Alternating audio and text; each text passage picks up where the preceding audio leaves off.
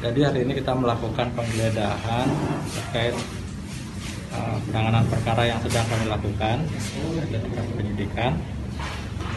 Kenapa dilakukan penggeledahan? Karena sampai dengan sekarang uh, tersangka tidak kooperatif menyerahkan data dukung kegiatan yang dilakukan pada tahun 2018. Ya, Salah satu uh, upaya kami selain melakukan penggeledahan di sini juga kami temukan data disimpan di rumah yang bersangkutan. Dan latar liputi apa aja yang bisa diungkapkan?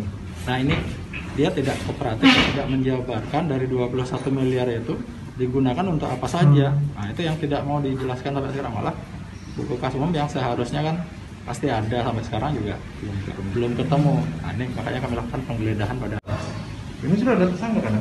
sudah satu orang Satu. baru satu kami tetapkan tapi nanti kan dilihat perkembangan. Siapa?